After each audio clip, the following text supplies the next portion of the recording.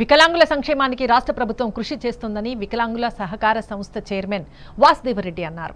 దేశంలోనే వికలాంగుల సంక్షేమం కోసం కృషి చేస్తున్న ఉత్తమ రాష్ట్రం తెలంగాణను కేంద్రం గుర్తించి అవార్డులు ఇచ్చిందన్నారు. దేశంలో రాష్ట్రాలలో వికలాంగులకు వెయ్యికి మించి పింఛన్లు ఇవ్వడం లేదని కేవలం తెలంగాణ ప్రభుత్వమే ఒక్కో వికలాంగుడికి మూడు వేల పదహారు చొప్పున అందిస్తున్నదని వెల్లడించారు. దివ్యాంగులకు చిన్నచూపు చూడొద్దని వాసుదేవరెడ్డి అన్నారు. తెలంగాణ రాష్ట్రంలో ఉన్న అనేక మంది వికలాంగుల జీవితాలలో వెలుగును నింపాయని చెప్పవచ్చు.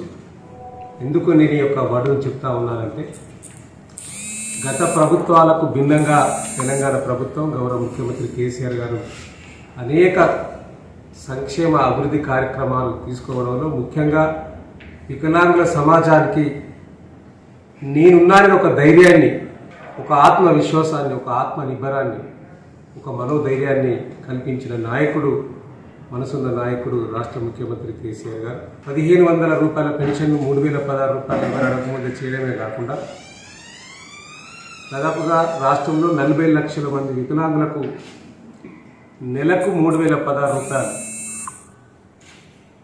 ఇది ఆసరా పెన్షన్ ద్వారా ఐదు లక్షల యాభై ఒక్క వేల మందికి నెలకు మూడు వేల పదహారులు సంవత్సరానికి రెండు వేల కోట్లు ఒక పెన్షన్ రూపంలోనే రాష్ట్ర ముఖ్యమంత్రి గారు కేసీఆర్ గారు